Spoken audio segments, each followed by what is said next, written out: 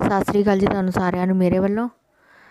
ਤੇ ਅੱਜ ਹੈਗਾ ਜੀ ਦਿਨ 19 ਫਰਵਰੀ। ਇਹ ਰਾਤ ਦੀ ਵੀਡੀਓ ਹੈਗੀ ਹੈ 19 ਫਰਵਰੀ ਦੀ। ਤੇ ਇੱਧਰ ਜੀ ਯੁਵਰਾਜ ਦੇ ਪਾਪਾ ਨੇ ਬਣਾਏ ਨੇ ਸੁੱਕੇ ਆਲੂ ਜੀਰੇ ਵਾਲੇ। ਜੀਰਾ ਵੈਸੇ ਨਜ਼ਰ ਨਹੀਂ ਆ ਰਿਹਾ, ਪਤਾ ਨਹੀਂ ਉਹਨਾਂ ਨੇ ਥੋੜਾ ਬਹੁਤਾ ਹੀ ਪਾਇਆ ਹੋਣਾ। ਤੇ ਮੇਰੇ ਅੰਗੂਠੇ ਕਰਕੇ ਨਾ ਪੱਟੀ ਪੁੱਟੀ ਬੰਨੀ ਤੇ ਦਰਦ ਹੋ ਰਹੀ ਸੀਗੀ। ਤੇ ਕਾਲੇ ਮਾਰੀ ਦਾਲ ਪਈ ਸੀ, ਮੈਂ ਖਾਣੀ ਨਹੀਂ ਸੀ ਵਾਈ ਕਰਕੇ, ਇਸ ਕਰਕੇ ਉਹਨਾਂ ਨੇ ਆਲੂ ਬਣਾਤੇ ਆਲੂ ਵੀ ਵੈਸੇ ਮੈਂ ਨਹੀਂ ਖਾਵਾਂਗੀ, ਮੈਂ ਸਾਗ ਨਾਲ ਹੀ ਖਾ ਲਾਂਗੀ ਰੋਟੀ। ਤੇ ਹੁਣ ਹੈਗਾ ਜੀ ਦਿਨ ਦੂਸਰੇ ਦਿਨ ਆਪਣਾ ਮੰਗਲਵਾਰ 20 ਫਰਵਰੀ ਤੇ ਅੱਜ ਜਗਰਾਤੇ ਤੋਂ ਨਾ ਮਾਤਾ ਰਾਣੀ ਦੇ ਕੜਾ ਪ੍ਰਸ਼ਾਦ ਤੇ ਛੋਲਿਆਂ ਦਾ ਪ੍ਰਸ਼ਾਦ ਆਇਆ ਸੀ ਸੁੱਕਾ ਤੇ ਨਾਲ ਕੋਲਡ ਡਰਿੰਕ ਦੀ ਬੋਤਲ ਹੈ, ਨਾਲ ਫਰੂਟ ਵੀ ਸੀਗੇ। ਤੇ ਫਿਰ ਮੈਂ ਚਾਹ ਬਣਾ ਰਹੀ ਸੀ, ਮੈਂ ਕਿਹਾ ਚਲੋ ਚਾਹ ਨਾਲ ਖਾ ਲੈਂਦੇ ਆ ਪ੍ਰਸ਼ਾਦ। ਤੇ ਰਾਤੀ ਮੈਂ ਕਾਲੇ ਛੋਲੇ ਭਿਓ ਕੇ ਰੱਖੇ ਸੀਗੇ, ਆਪਾਂ ਦੁਪਹਿਰੇ ਬਣਾਵਾਂਗੇ। ਤੇ ਮੌਸਮ ਵਧੀਆ ਹੈ ਮਿੱਟੀ ਮਿੱਟੀ ਉੱਡਦੀ ਰਹਿੰਦੀ ਹੈ ਬਸ, ਹੁਣ ਕਾਫੀ ਜ਼ਿਆਦਾ ਹਨੇਰੀ ਵਰਗੀ ਹਵਾ ਚੱਲਦੀ ਰਹਿੰਦੀ ਹੈ ਡੇਲੀ ਠੰਡ ਨਹੀਂ ਲੱਗਦੀ ਹੈ, ਹੁੰਦੀ ਗਰਮੀ ਹੈ ਹੀ ਧੁੱਪ ਚੜੀ ਹੁੰਦੀ ਹੈ, ਪਰ ਮਿੱਟੀ ਮਿੱਟੀ ਸਾਰੇ ਘਰ ਦੇ ਵਿੱਚ ਹੋਈ ਰਹਿੰਦੀ ਹੈ ਬਸ। ਤੇ ਇੱਧਰ ਜੀ ਮੈਂ ਛੋਲੇ ਰੱਖ ਦਿੱਤੇ ਨੇ ਉਬਲਣ ਵਾਸਤੇ। ਅਤੇ ਹੁਣ ਮੈਂ ਫਟਾਫਟ ਨਾਲ ਮਾਂਜ ਲਾਂਗੀ ਭਾਂਡੇ ਕਿਚਨ ਦਾ ਪਹਿਲਾਂ ਸਾਰਾ ਆਪਾਂ ਕੰਮ ਨਿਬੇੜ ਲਾਂਗੇ, ਖਲੇਰਾ ਸਾਰਾ ਚੱਕ ਲਾਂਗੇ। ਆਹ ਦੇਖੋ ਜੀ, ਪੱਟੀ ਬੰਨੀ ਹੋਈ ਹੈ ਕੱਲ ਦੀ ਮੈਂ ਅਤੇ ਹੁਣ ਨਹਾ ਕੇ ਫਿਰ ਦੁਬਾਰਾ ਇਹ ਪੱਟੀ ਨੂੰ ਨਵੀਂ ਬੰਨਾਂਗੀ ਸਾਫ਼ ਕਰਕੇ ਅੰਗੂਠੇ ਕੋਲੋਂ। ਅਤੇ ਨਾਲ ਹੀ ਜੀ ਮੈਂ ਹੁਣ ਗੁੰਨ ਲਾਂਗੀ ਆਟਾ, ਇੱਧਰ ਮਸਾਲਾ ਭੁੰਨਣਾ ਸ਼ੁਰੂ ਕਰ ਦਿੱਤਾ ਮੈਂ ਦੂਸਰੇ ਗੈਸ ਤੇ।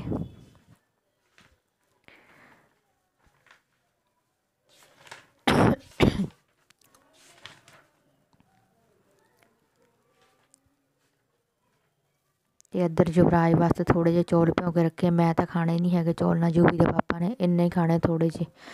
ਤੇ ਲਓ ਜੀ, ਮੈਂ ਹੁਣ ਨਹਾ ਨੂੰ ਕੇ ਆ ਗਈ ਸੀਗੀ। ਅਤੇ ਪੱਟੀ ਗਿੱਲੀ ਹੈ ਮੈਂ ਥੋੜ੍ਹਾ ਜਿਹਾ ਨਾ ਲਿਫਾਫਾ ਚੜਾ ਕੇ ਗਈ ਸੀਗੀ। ਅਤੇ ਹੁਣ ਆ ਦੇਖੋ ਜੀ ਖੋਲੀ ਹੈ ਕਾਫੀ ਫ਼ਰਕ ਪੈ ਗਿਆ ਜੀ। ਪਹਿਲਾਂ ਕਿੰਨਾ ਅੰਗੂਠਾ ਸੁੱਜਿਆ ਹੋਇਆ ਸੀ ਨਾ, ਪਸ ਤਾਂ ਸਾਰੀ ਕੱਲ ਨਿਕਲ ਗਈ ਸੀਗੀ।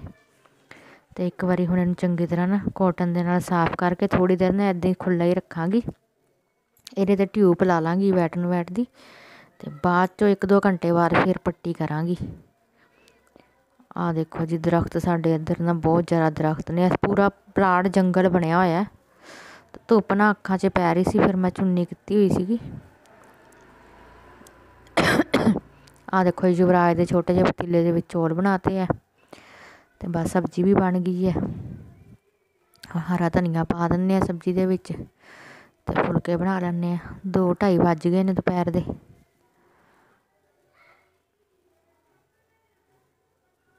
ਸਬਜ਼ੀ ਦੀ ਤਰੀ ਮੈਂ ਜਾਣ ਕੇ ਪਤਲੀ ਰੱਖੀ ਹੈ ਅੱਜ ਤੇ ਮੇਰਾ ਦਿਲ ਕਰਦਾ ਪਿਆ ਸੀ ਪਤਲੀ ਜੀ ਤਰੀ ਪੀਣ ਦਾ, ਸੂਪ ਵਾਂਗੂ।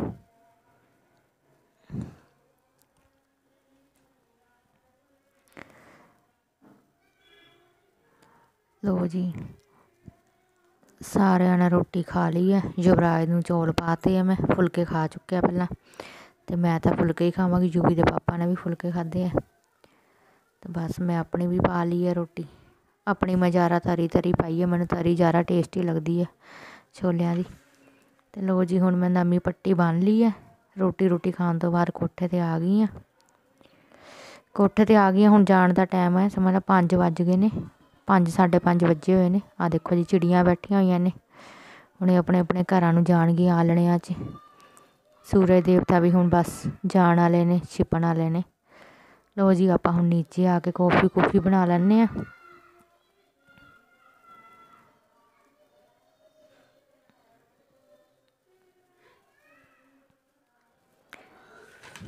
ਤੇ ਇੱਧਰ ਜੀ ਦੁਪਹਿਰ ਦਾ ਆਪਣਾ ਥੋੜਾ ਜਿਹਾ ਸਮਾਨ ਆਇਆ ਹੋਇਆ ਸੀਗਾ, ਕਰਿਆਨੇ ਦਾ।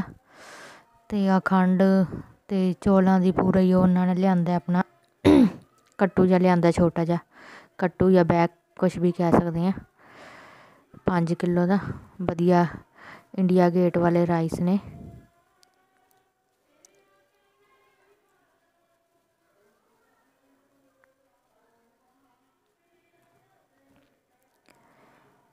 ਤੇ ਬਸ ਇਹਨਾਂ ਨੂੰ ਵੀ ਹੁਣ ਮੈਂ ਚੱਕ ਕੇ ਨਾ ਡਰਮੀ ਦੇ ਵਿੱਚ ਹਲੇ ਰੱਖ ਦਾਂਗੀ। ਅੱਧੇ ਜਦੋਂ ਡੱਬੇ ਖਾਲੀ ਹੋਣਗੇ, ਫਿਰ ਆਪਾਂ ਡੱਬਿਆਂ ਦੇ ਵਿੱਚ ਭਰਾਂਗੇ। ਖੰਡ ਵੀ ਅੱਧੇ ਹੀ ਰੱਖ ਦਾਂਗੀ ਤੇ ਚੌਲ ਵੀ। ਤੇ ਰਿਫਾਈਨਡ ਦੇ ਪੈਕਟ ਨੂੰ ਫ੍ਰਿਜ ਦੇ ਵਿੱਚ ਰੱਖ ਦਾਂਗੀ। ਤੇ ਲੋ ਜੀ ਮੈਂ ਡਰਮੀ ਕੱਢੀ, ਉਹਦੇ ਵਿੱਚ ਕਾਫੀ ਦਾਲਾਂ ਦੇ ਪੈਕਟ ਪੂਕਟ ਨਿਕਲੇ ਨੇ, ਕਈ ਵਾਰੀ ਭੁੱਲ ਵੀ ਜਾਂਦੀ ਹਾਂ, ਮੈਂ ਰੱਖੇ ਹੁੰਦੇ ਨੇ ਪੈਕਟ ਅਤੇ ਹੋਰ ਮੰਗਾ ਲਈਦੀ ਹੈ ਅਤੇ ਮੈਂ ਕਿਹਾ ਚਲੋ ਹੁਣ ਚੈੱਕ ਹੀ ਕਰ ਲੈਂਦੀ ਹਾਂ ਸਾਰੀ ਡਰਮੀ ਚੰਗੀ ਤਰ੍ਹਾਂ ਨਾ, ਸਮਾਨ ਉੱਪਰ ਨੀਚੇ ਪਿਆ ਹੋਇਆ ਸਾਰਾ ਹਟਾ ਕੇ ਨਾ।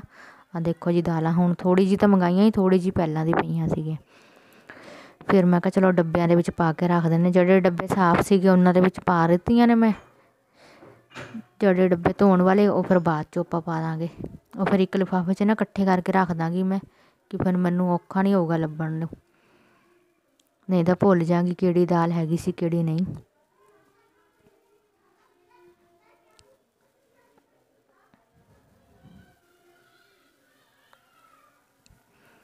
ਆ ਦੇਖੋ ਜੀ ਆ ਪਹਿਲਾਂ ਵਾਲੀ ਵੀ ਥੋੜੀ ਜੀ ਪਈ ਹੈ ਛੋਲਿਆਂ ਦੀ ਦਾਲ। ਤੇ ਇਹਨੂੰ ਆਪਾਂ ਪਹਿਲਾਂ ਬਾਹਰ ਕੱਢ ਲਾਂਗੇ। ਆ ਮੇਰਾ ਧੋਤਾ ਹੋਇਆ ਡੱਬਾ, ਇਹਦੇ ਵਿੱਚ ਮੈਂ ਸਾਫ਼ ਡੱਬੇ ਦੇ ਵਿੱਚ ਪਾਵਾਂਗੀ, ਹੁਣ ਉਹ ਡੱਬੇ ਨੂੰ ਧੋਣ ਨੂੰ ਰੱਖ ਦਾਂਗੀ। ਹੁਣ ਆਪਾਂ ਨਵੀਂ ਦਾਲ ਪਾਤੀ ਹੈ। ਉਹਦੇ ਉੱਪਰ ਆਪਾਂ ਪੁਰਾਣੀ ਪਾ ਦਾਂਗੇ। ਕਿਉਂਕਿ ਪੁਰਾਣੀ ਉੱਪਰ ਪਾਵਾਂਗੇ ਤਾਂ ਛੇਤੀ ਬਣ ਜੂਗੀ ਜਦੋਂ